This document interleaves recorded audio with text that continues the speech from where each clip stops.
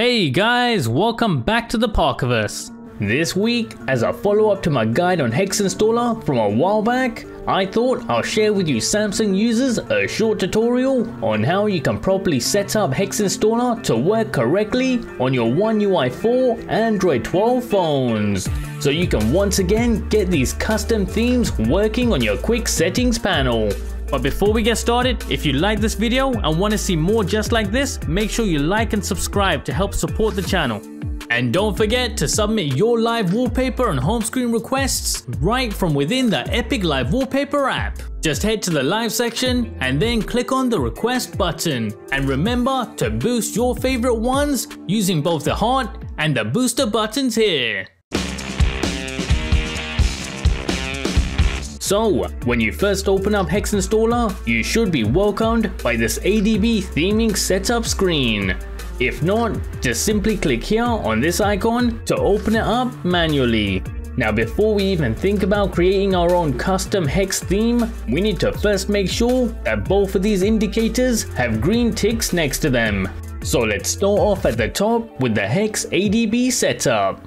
For this, simply tap on the text itself and you'll open up this setup guide. Now here, you'll find a few different methods that you can use to enable it, either directly on the phone itself, using Windows, Linux, and even Mac. So make sure to choose the method right for you. But personally, I prefer to use the Windows option, but the steps for the rest of them would be quite similar. So just tap on the one that you want to use and the phone will start downloading the files for it. Now before we connect our phone to the computer, we want to make sure that we first enable USB debugging. You can find this within your phone's developer options. Just make sure it's toggled on just like I have it. Once done, now let's connect it to our computer and copy over the files that we downloaded earlier within Hex Installer. You'll find it within a folder called Hex. Just extract this zip file anywhere on your computer, but make sure it's somewhere you can easily find it again.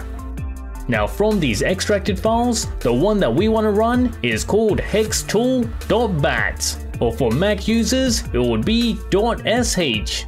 Now just read the options carefully and press the relevant button. In my case, it's 1. Now just give it a few seconds to run and you should eventually see this green tick within Hex Installer.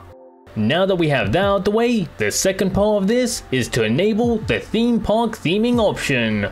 For this, we're simply going to head over to the Galaxy Store and install the Samsung first party app called Theme Park, which in itself allows you to fully customize your phone's look, including the quick access and notification panel. Just make sure to allow it all of the permissions it needs in order to run correctly.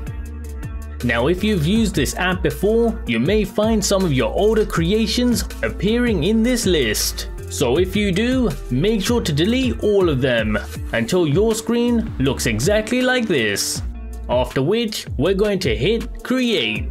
Now just give it a few seconds and then head to the next screen. This is where you can customize the look of your phone using the theme park itself. However, because we're not going to interact with any of this, we're simply going to press the back button, at which point you should see this previous new tile. So next, we're going to head back into it, but this time, we're going to hit the button in the top right of the screen.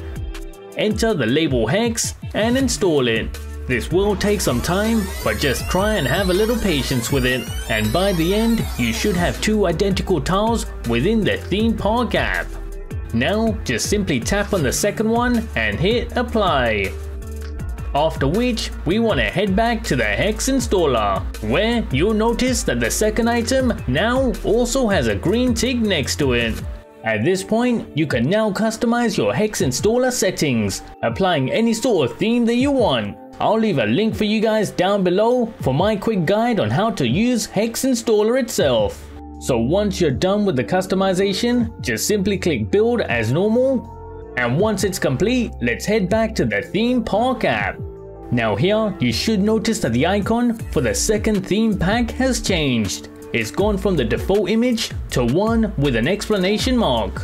At this point, your phone should automatically apply the default theme, and once it's done, just simply tap and reapply the Hex theme from within the Theme Park app. If you like this video and want to see more just like this, make sure you like and subscribe to help support the channel. And make sure you check out my other Android customization videos. See you next time on Into the Parkerverse.